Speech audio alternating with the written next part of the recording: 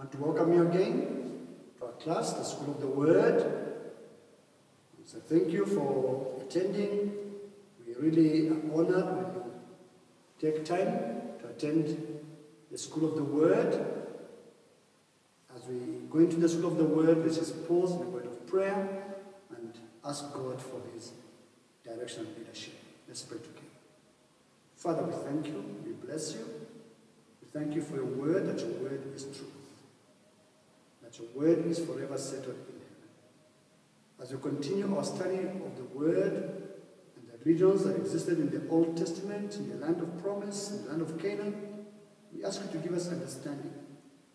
And that, Father, these were given as examples to us, that we may be able to learn from them and see those areas that we need to avoid and those areas we need to be able to embrace. In Jesus' mighty name we pray. Welcome once again to the School of the Word. Good morning, good afternoon, good evening, wherever you're tuning in. This is the School of the Word, a place where we get into the Word. We are currently looking at the Old Testament so that believers can become familiar with what's happened, what happened in the Old Testament, and they can be students of the Word of God, the Word of the Old Testament. Last week we began looking at the religions of the Old Testament, and we did a brief introduction to what religion is, and the three areas in our thoughts, in our actions, and in the, our fellowship. Today we'll continue on and begin to look at religions that existed in the land of promise, the land of Canaan that Israel was supposed to go and occupy. We read in Deuteronomy chapter 7, verse 6, which says, The Lord has chosen you out of all the people on the earth, on the face of the earth, to be his people. God chose Israel to be his people. And we read in the book of Deuteronomy chapter 1 verse 7 where it says, Turn and resume your journey and go to the hill country of the Amorites and to all their neighbors in the Arabah, the, in the hill country, in the lowland, the Shephelah, in the Negev, the south country, and on the coast of the Mediterranean Sea, the land of the Canaanites and Lebanon, as far as the river Euphrates, the great river. Here we're told the land Israel was supposed to occupy. Let's, let's look at this. Let's begin. Have you ever read the Old Testament and wondered what a reference such as the Asherah pole really means? You read, you come across the Asherah pole. What does it mean? Or for instance, when you read 2 Kings 16, verse 8, verse 3 rather, which says, He followed the ways of the kings of Israel, and even sacrificed his son in the fire, engaging in the detestable practices of the nations the Lord had driven out before the Israelites goes through your mind when you read such a scripture. He followed the ways of the kings of Israel and even sacrificed his son in the fire, engaging in detestable practices of the nations the Lord had driven out before the Israelites.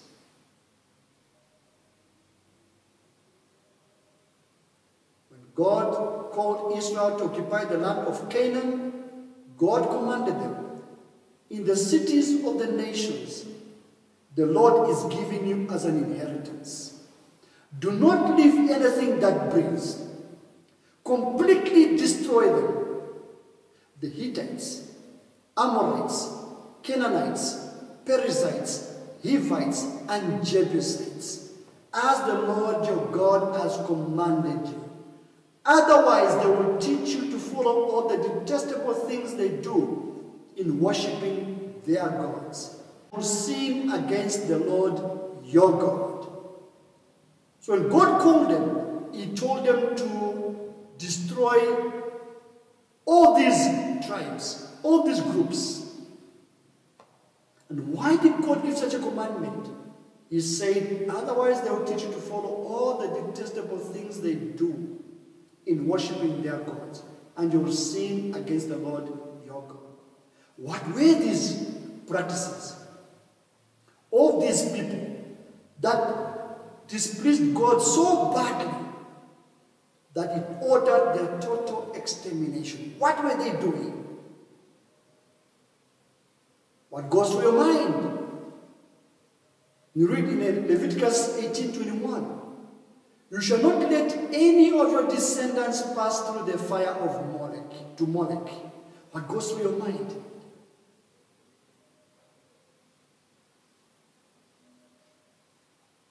Deuteronomy 1 7 tells us the land that Israel was supposed to occupy, the land of Canaan. God even marks out the boundaries where it was going to end. Now, in this land of Canaan that Israel was going to occupy, there were people already existing in the land. Those people had a culture and had religions that they were following.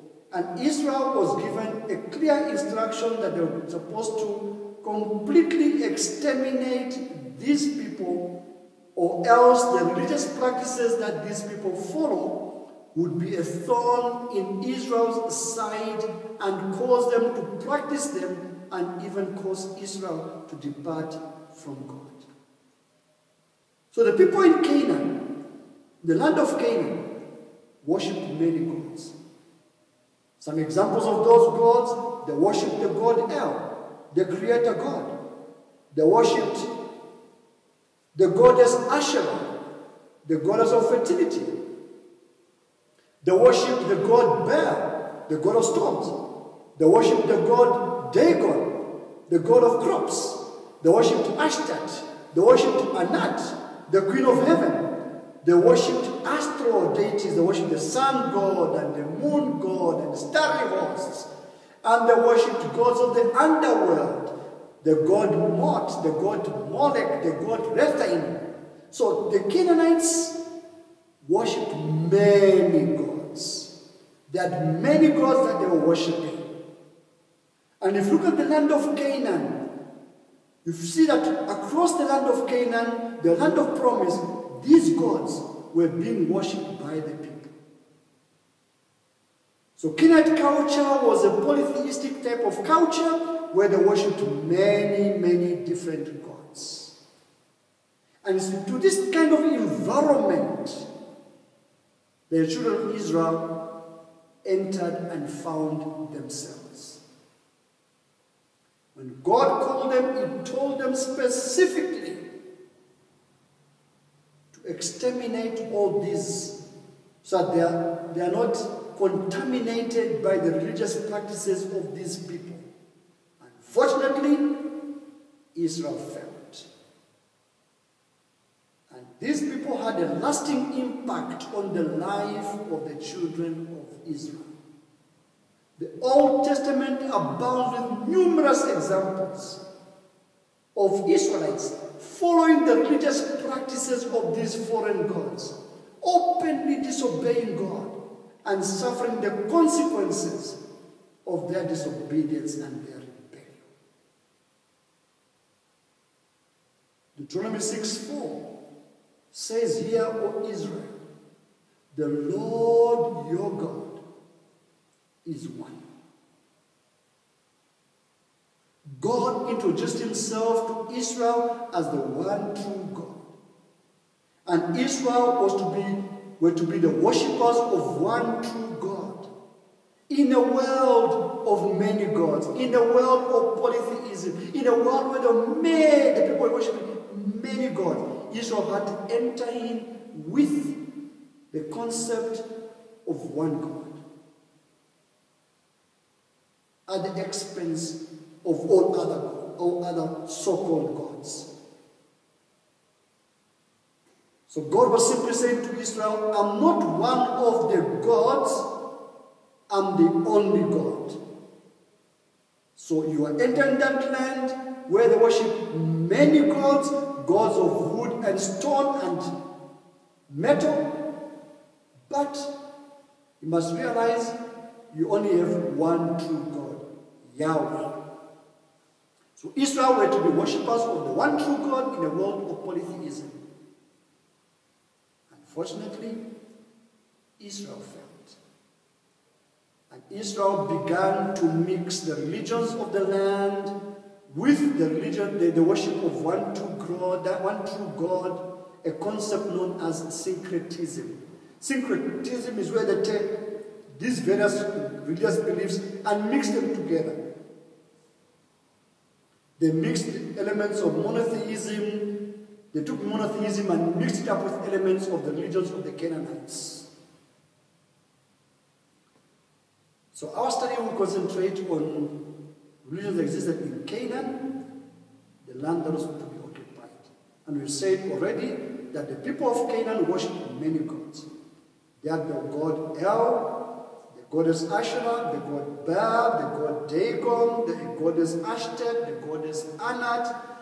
They worshipped astro deities, the sun god, the moon god, the starry host. They worshipped gods of the underworld, Mot and Molech and Rephaim. In this kind of world, Israel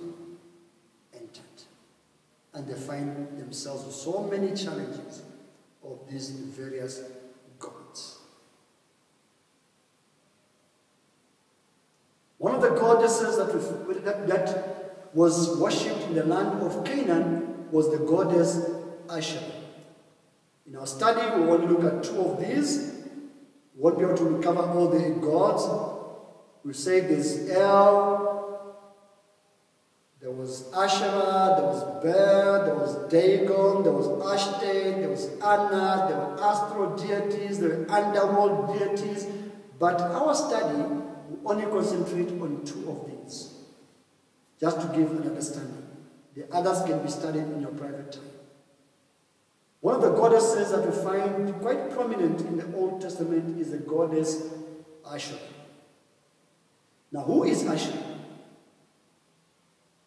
We also come across Asherah poles. Have you ever studied the Old Testament and you come across Asherah poles and you ask yourself, what are these? Well, let's look at them. So the goddess Asherah and the Asherah poles appear in the Bible from the book of Exodus right throughout the book of Micah, which shows that this form of worship and idolatry was a constant problem, a constant thorn in the side of Israel. Let's look at a couple of scriptures. Exodus 34, verse 13 says, Break down their altars, smash their stone, sacred stones, and cut down their Asherah poles. Deuteronomy 16, 16 verse 21 says, you must not plant any kind of tree as a sacred Asherah pole near the altar of the Lord your God, which you built for yourself. 1 Kings 16, 33 says, Ahab, King Ahab, Ahab also made an Asherah pole and did more to arouse the anger of the Lord, the God of Israel than did all the kings of Israel before him. So by planting Asherah tree, that's Asherah pole, Ahab aroused the anger of the Lord. Judges 6, 25 to 30.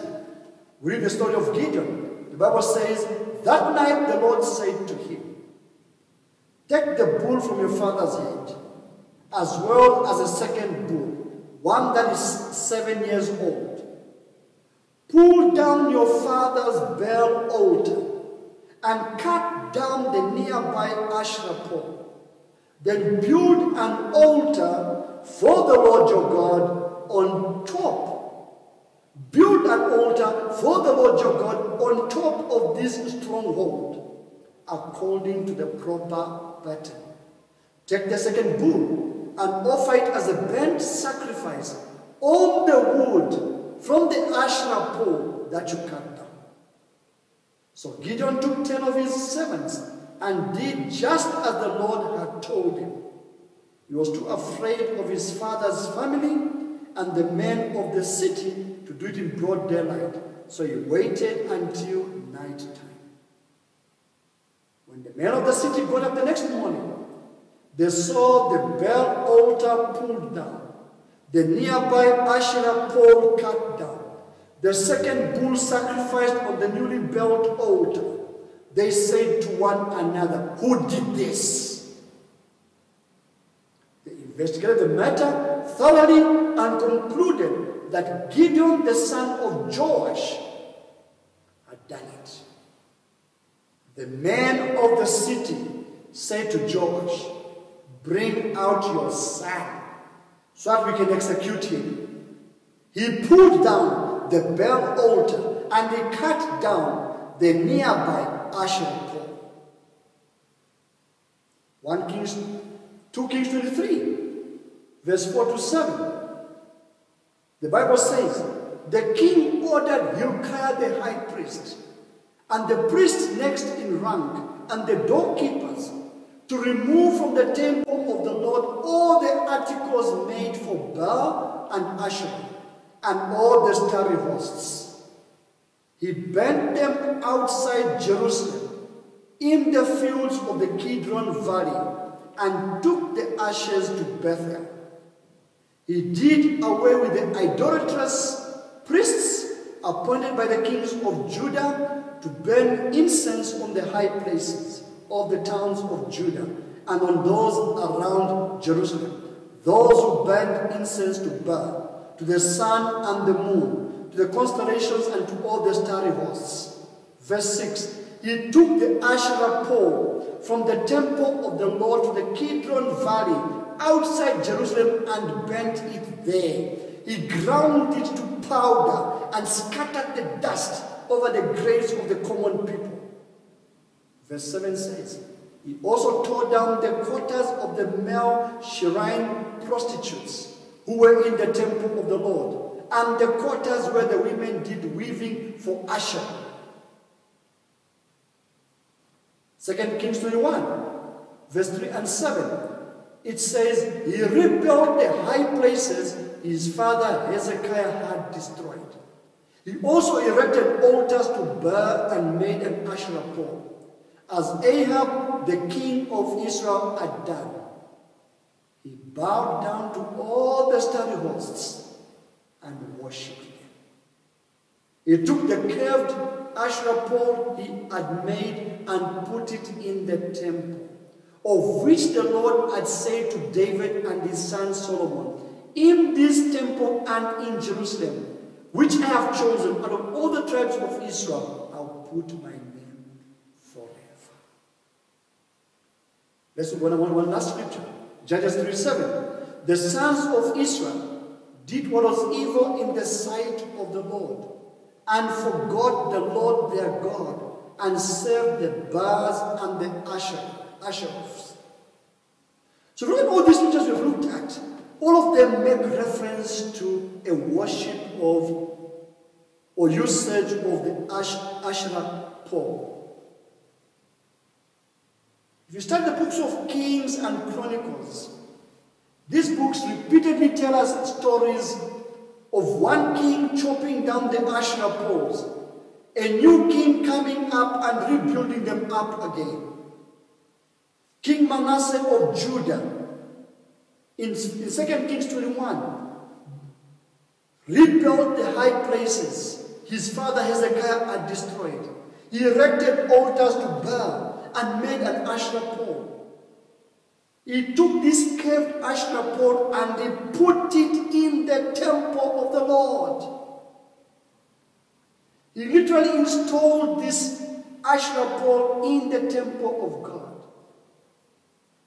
When the righteous King Josiah went out with his great cleansing, we are told in 2 Kings 23 that King Josiah went to the temple and took the Asherah pole that Manasseh had put in the temple. He took it out and he bent it and he ground it to powder. Wow. So the Old Testament has a lot to say about uh, the Asherah and the Asherah poles. What is the Asherah? And why was it so famous and so popular among the people? The goddess Asherah was one of the goddesses of Canaan. And the goddess Asherah, from what we have learned, says that uh, it uh, tells us that she was the principal consort or mistress of the principal god of the land, not only of Canaan but of the ancient Near East, and was known by a number of different names. These pantheons of gods in Babylon was known as the storm god Amuru. In the Ugarites, he was known as El. He was also known as El among the Canaanites. So Asherah was clearly a very popular goddess.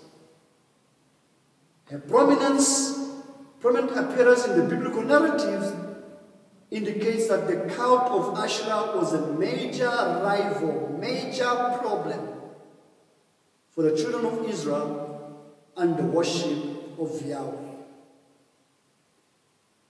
We find so many examples in Scripture in which Asherah poles are erected and worshipped. And we find so many examples of condemnation of the practice of these Asherah poles. And we find so many examples in scriptures of these Asherah poles being cut down and bent. We saw the account of Gideon in Judges 6, and the account of Josiah in 2 Kings 23. So Asherah as a goddess, the goddess of fertility, the chief goddess, the mistress of the chief god El, is represented by in the Bible by sacred poles erected near an altar. When an altar is made to worship, they put a pole near the altar a pole known as the Asherah pole, a pole in recognition of the goddess Asherah. So she was very popular in Canaanite religions, in pagan deviations, pagan worship. She was a very popular goddess. So this pole stood as a sacred monument and a tribute to the Canaanite goddess Asherah. So this Canaanite goddess Asherah, the mistress of the Canaanite creator god El, was worshipped through these trees that they put up, and she was associated with the tree of life. We are told in mythology that she gave birth to 70 other gods in the Canaanite religion.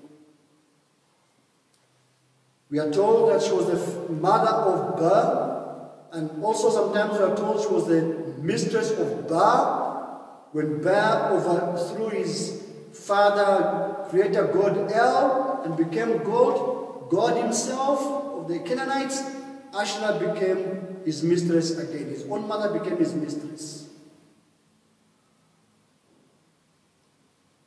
In some other places, we begin to see those Israelites who were practicing this Canaanite cult begin to place Asherah together with Yahweh as though she was Yahweh's wife. So, who is this Asherah? Judges 3 7, 1 Kings 14 and 15, 1 Kings 15, verse 13, and 2 Kings 13 6 tell us that one common feature of Canaanite worship and of syncretism in Israelites was the erection of Asherah poles. The Asherah poles were set beside every spreading tree, every altar, indicating that these were for cultic purposes more than just planted trees. And these Asherah poles found their way into Israel's history as the nation rebelled against God. That we saw in Exodus 34, verse 13, God giving Israel an instruction to cut them down. If you read from Exodus 34, God already given instructions to cut it down. It means that these Asherah poles must have made their appearance in early Israelite history. Probably even back to the time of the time they were in the land of Egypt as slaves. So this had quite an effect and an influence upon Israel. We saw in the book of Judges 6 that Gideon, the judge, his father had the stature of Baal.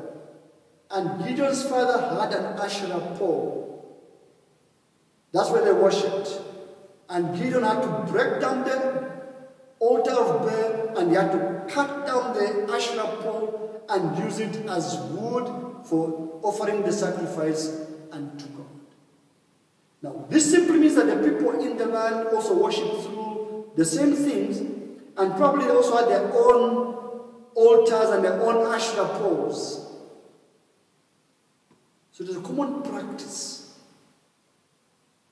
After King Saul, Solomon died, the two kings that took over the ten tribes to the north and the two tribes to the south, Rehoboam and Jeroboam, we are told in 1 Kings 14 that they encouraged Asherah worship.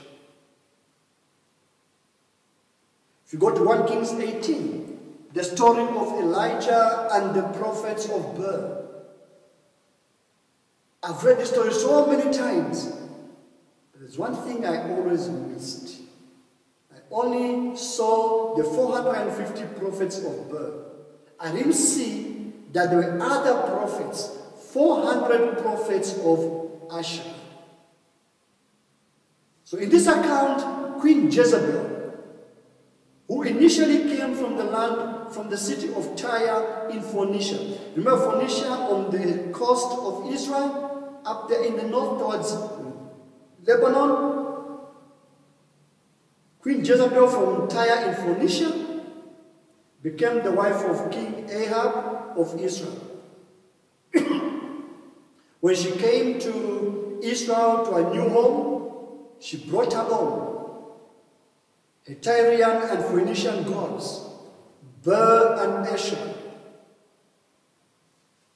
As queen in the land, she secured official recognition and status for 450 prophets of Baal and 400 prophets of Asherah. Queen Jezebel encouraged the worship of these gods, Baal and Asherah, in Israel. We saw in Exodus 34 and verse 13 and Deuteronomy 6 and verse 4. In Deuteronomy 6 verse 4, God made it clear that he is one God. Hear, O Israel, the Lord thy God is one Lord. In Deuteronomy 34 verse 13, God condemned the worship of Asherah poles and commanded Israel to cut them down. Deuteronomy God, 6 4, God says there's only one, is not part of a group of gods. And he condemned the Israelites who engaged in pagan worship. So this is one of the gods that you find in the land of Canaan. So the land of Canaan fell under the umbrella of pagan worship gods of a people Israel was supposed to completely exterminate. And any connection between the God of Israel, the true God Yahweh, and Asherah is a perversion of truth. God told them to cut it down. As New Testament believers, as modern day believers, we don't live in through social media, our workplaces, our day to day activities, we absorb many non biblical ideas from the culture around us. Just like the Israelites. In the 400 years they were in, in Egypt, they took in so much pagan influence into their thinking that as they went out of the land in Exodus 34, God tells them, break it down, pull down the Asherah poles, break them down, cut them down. Deuteronomy 16, verse 21, we are told, You shall not plant for yourself any tree as a wooden image near the altar which you build for yourself to the Lord your God. So God told them as they built altars to God not to set up any wooden Asherah poles of their own.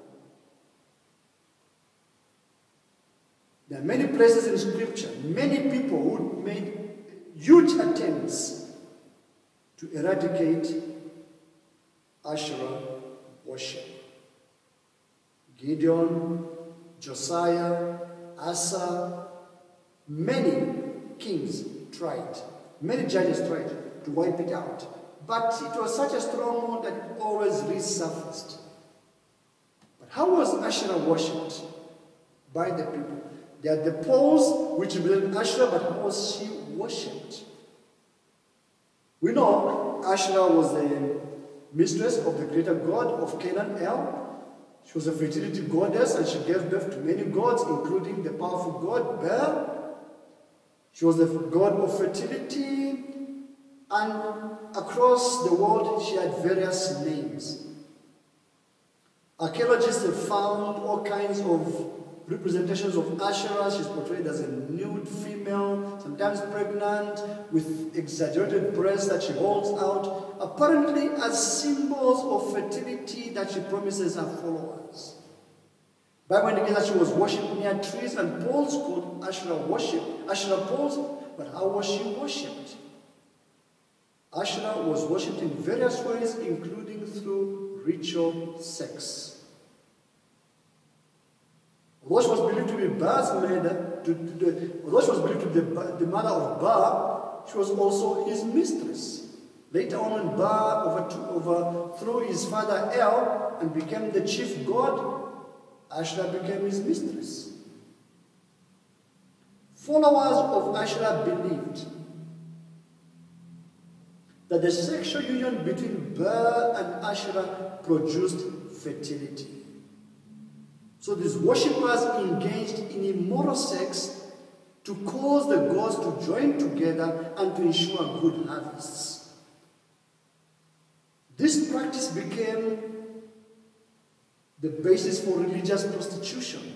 We saw in the, that there were male prostitutes and the women were weaving for Asherah.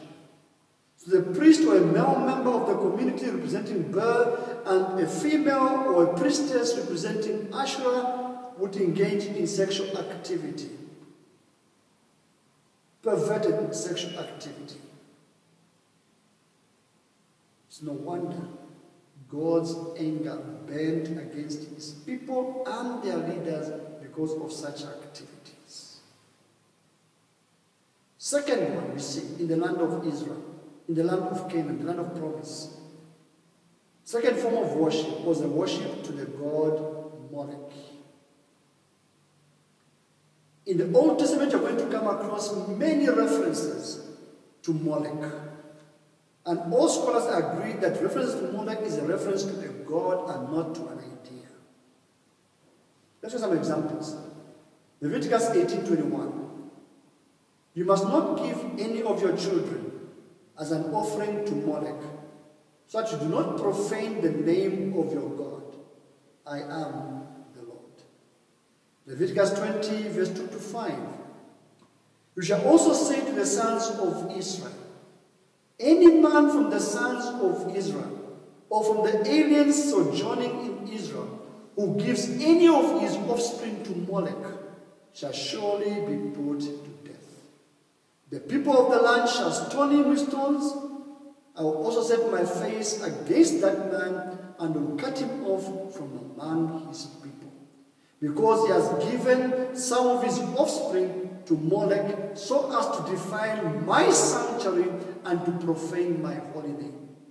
If the people of the land, however, should ever disregard that man when he gives any of his offspring to Molech, so as not to put him to death, then I myself will set my face against that man and against his family.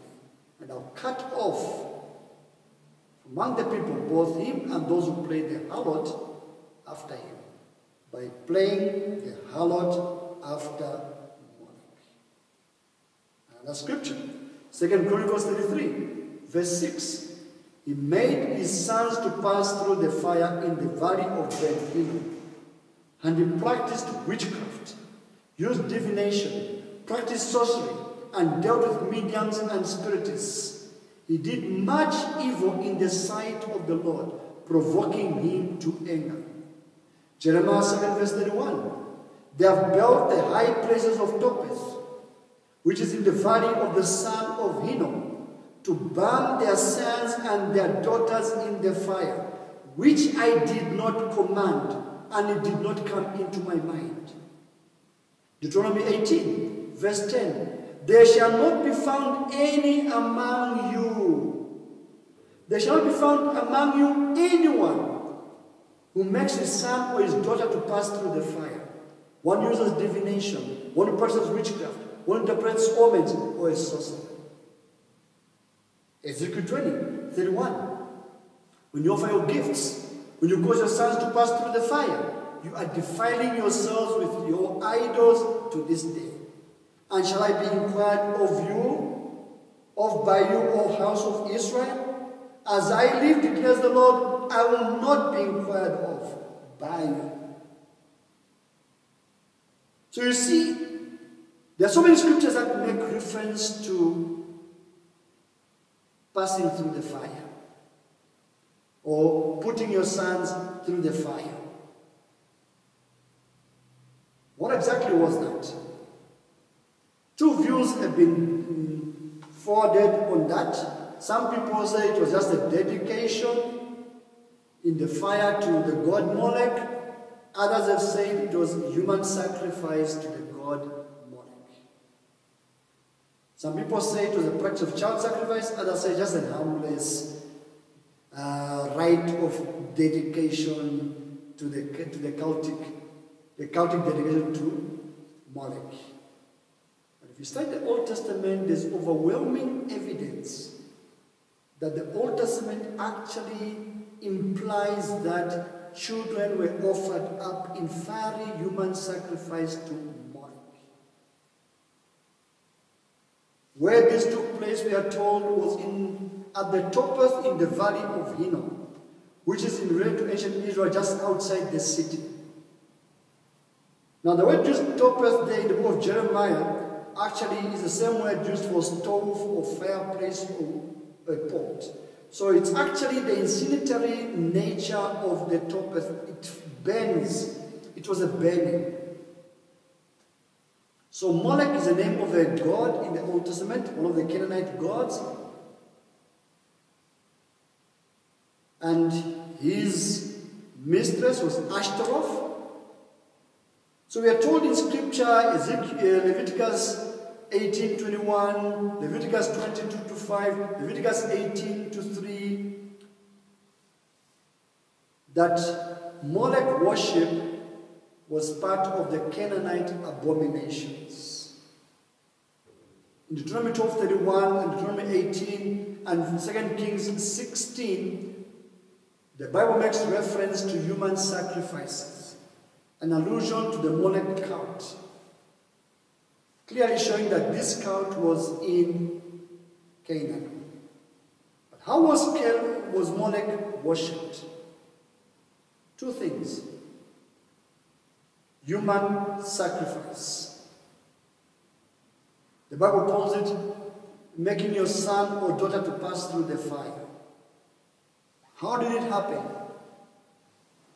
Couples who sacrificed their firstborn to the god Molech believed that Moloch or Molech would ensure financial prosperity for the family and grant them fair future children.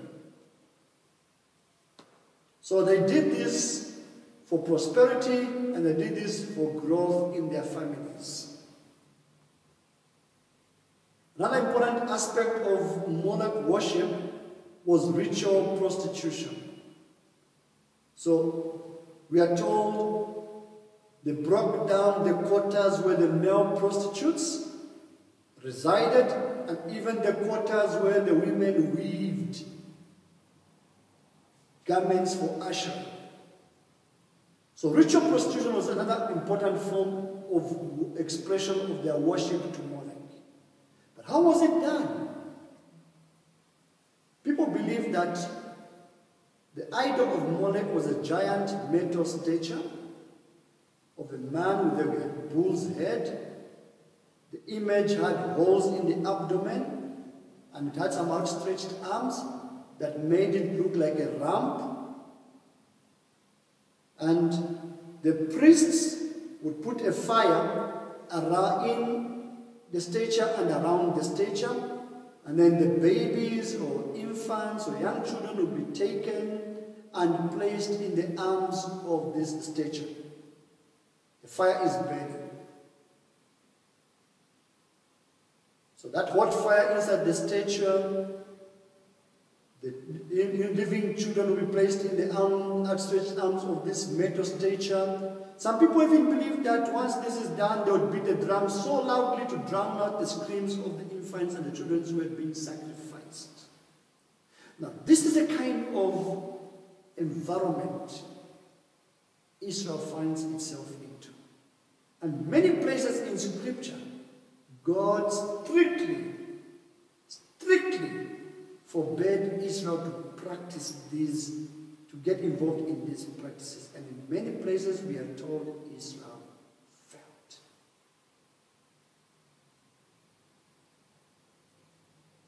So, two of the main gods Israel encountered when they came to the land of Canaan was the god Molech and the goddess Asherah. And these two are among those Canaanite pagan deities that had a huge effect on the people of God. And we find so many scriptures in the Old Testament that make reference to these two deities. Asherah and the Asherah poles and Molech with the passing through the fire. And thank you for attending our class this morning. We'll see you again in the next class. If you have any questions or comments, please post them in the comments section on YouTube or Facebook. Please kindly support this channel by clicking the like button and consider sub subscribing to this channel and please share these videos with others within your contacts. So the other gods that, are, that were there in the land, we leave them.